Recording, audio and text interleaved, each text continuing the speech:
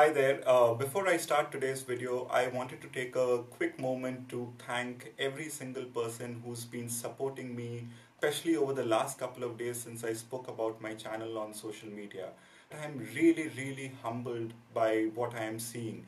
Uh, so thank you to each and every one of you. You know who you are, and I promise to keep up uh, this work that I am doing. Thanks a lot.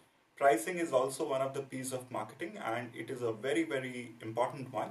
Pricing has a huge impact on the final purchase decision, especially at the moment of truth when the consumer has pretty much gone through the whole brand experience, or probably if you are drawing a journey, the different stages of the journey, and they are close to that moment of truth when they are about to make the purchase decision.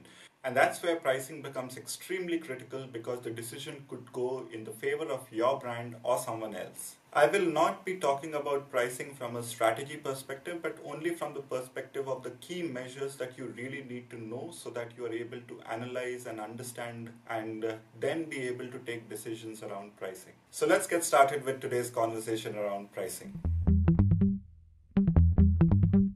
The world of marketing is vast, complex, and rapidly evolving. But with just a bit of help, it can be a lot of fun. On this channel, I simplify real world marketing for all the curious minds out there. Hi, I'm Rahul, and this is the business of marketing.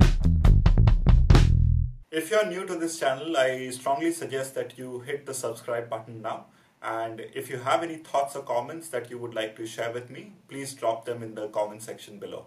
The first measure that I will be talking about today is something that is most commonly known to uh, probably all of us, and that is the retail price.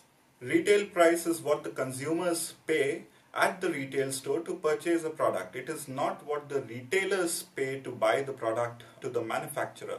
The retail price gets recorded when the purchase happens at the point of sale and when the barcode is being scanned by the retailer. If you're in marketing and buying Uh, retail measurement data, then retail price is a piece of information that would be provided by those data providers. Why is retail price something that you're trying to find out through the data providers? Because uh, as a brand, aren't you the one who's supposed to determine the retail price? To understand the complexity of the answer, you need to understand what really happens in the real world. What would happen is that the product would move through a bunch of different stages before it actually gets to the retailer. So at different stages, different changes might happen to the pricing of the product. Sometimes there are distributors who are extremely powerful and they can really influence the price. At the same time, there could be retailers who are extremely powerful and they could influence the price. Their intention would be to try and sell as much as they can so that they can make the most amount of profit. So therefore there is an influence that they have as far as the retail price is concerned and which is why as a manufacturer or a marketer you still need to find out what is the final retail price on ground although you might have had a retail price range in mind when you started. Of course, if you are someone who's doing business on e-commerce, this isn't something which uh, influences your product sales so much. But even in the case of e-commerce, there can be situations where the marketplace is trying to promote your product or your brand and in such cases there could be a change wherein they apply certain promotions or discounts which could influence the retail price of your product. But in such cases the price is much more visible to you directly. The next measure that i will be talking about is called the average price per unit. The average price per unit is what the consumer pays for a single unit of the product.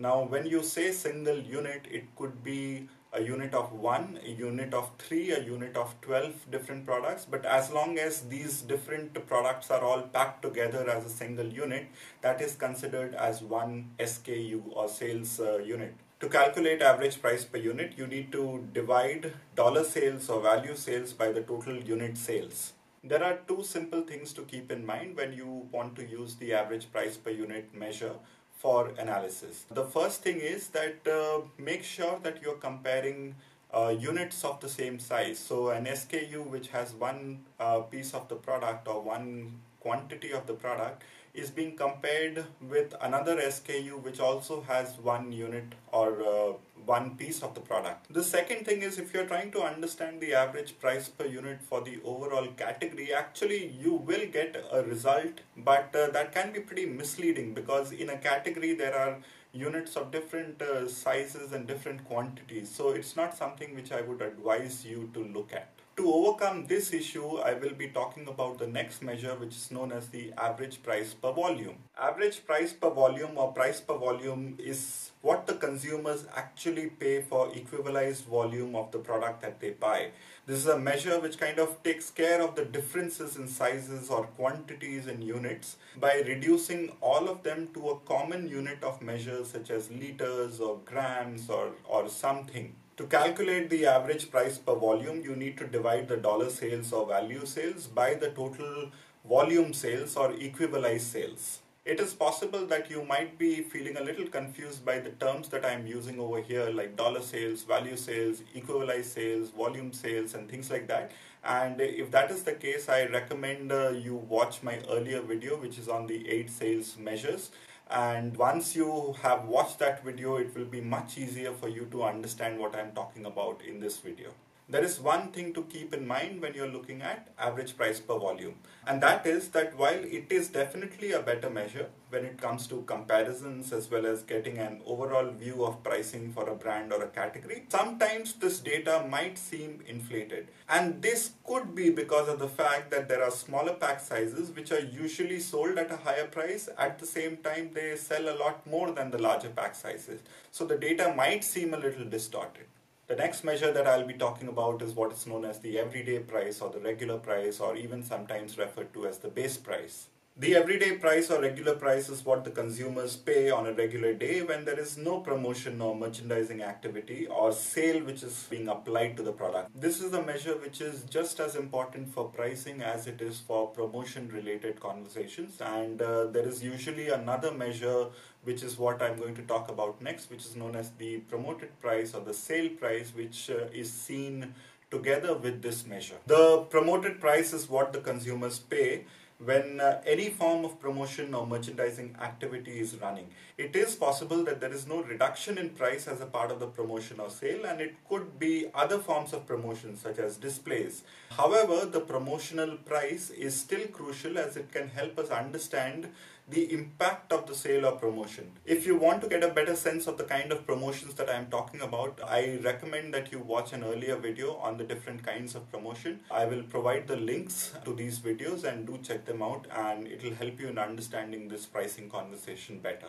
The next measure that I'll be talking about is uh, something that we all love and maybe a lot of marketers hate and that is discount. We know discounts, we understand discounts intuitively, but uh, because they are so important both for consumers as well as for marketers, I'm going to touch upon discounts uh, in today's topic. Discount is the actual or percentage of reduction in price to attract consumers to buy or to buy more of a certain product. Discount is usually shown in two different ways. The first is the absolute discount and the second being the percentage discount. To calculate absolute discount, you need to subtract the sale price or promoted price from the everyday price or regular price and to calculate percentage discount I put the formula up on the screen uh, it's something which we all probably already know the last measure I wanted to talk about in today's video is known as price gap. Price gap is basically the difference between your price and the price of the competitor's products which is expressed either in absolute terms or in percentage terms. To calculate the absolute price gap, uh, you take the everyday price of your competitor's product and subtract it from the everyday price of your product and the difference is the price gap when you have the absolute uh, price gap, you can use it to calculate the percentage price gap. The formula for that is uh, you take the absolute price gap divided by the everyday price of your product and multiply it by 100 to get the percentage price gap. There are two things to keep in mind when you're looking at price gap. The first is that price gap can be calculated and analyzed not just for everyday price but for all kinds of price.